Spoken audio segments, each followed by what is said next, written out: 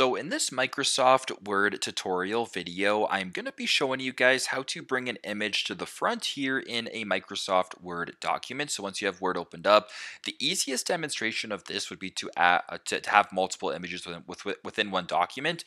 Uh, so if I were to go to insert here in the top left, press on pictures, or not shapes, my apologies, press on pictures. I'm going to go to online pictures here and add two different examples to this design. So I'm going to go to where it says background. I'm going to add this background right here, as well as this black background right here, insert both right here.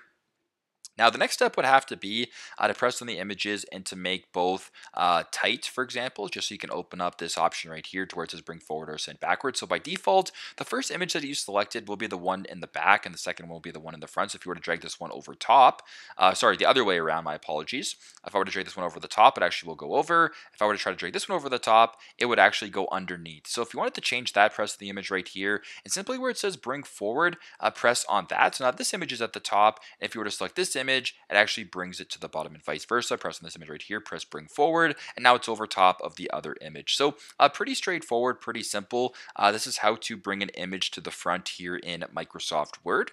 Thanks again for watching, and I hope this video helps.